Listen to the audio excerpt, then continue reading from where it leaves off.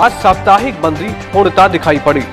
हम आपको बताएँ कि उत्तर प्रदेश युवा उद्योग व्यापार मंडल, प्रदेश अध्यक्ष अतुल कुमार गुप्ता, अखिल भारतीय उद्योग व्यापार मंडल रायबरेली जिला अध्यक्ष त्रिलोचन सिंह छाबड़ा, नगर मजिस्ट्रेट जुगराज सिंह क्षेत्र अधिकारी सदर अंजनी चतुर्वेदी, अधिशासी अधिकारी बाल मुकुंद मिश्रा की अपील का असर 20 अक्टूबर आज मंगलवार को दिखाई पड़ा, जिसमें साप्ताहिक बंदी दिखाई पड़ी।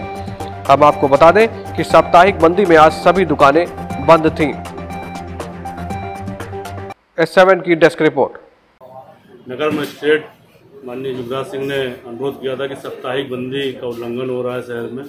लोग धीरे धीरे दुकान खोल रहे हैं। जब तक ये कोरोना महामारी छट नहीं जाती, तब तक साप्ताहिक बंदी ज़रूर आप लोग कराएँ। उसके हम लोग ने संडे को 18 तारीख को एक अपील व्यापारियों से की थी और एक रिक्शे के माध्यम से पूरे शहर में अनाउंसमेंट भी कराया था कि साप्ताहिक बंदी के दिन बेकरी, मिठाई, रेस्टोरेंट पंक्चर की दुकानें, दूध, दवा, फल की दुकानों को छोड़कर सभी दुकानें पूर्व की बात बंद रहेंगी। अपील का ये असर हुआ कि आज सभी दुकानें पूर्णतः हर मार्केट में, हर क्षेत्र में बनते चाहे कानपुर रोड हो, चाहे हैपरगंज हो, चाहे तेग बहादुर मार्केट हो, चाहे स्टेशन रोड हो, सभी दुकानें पूर्णतः और स्वेच्छा से लोगों ने बंद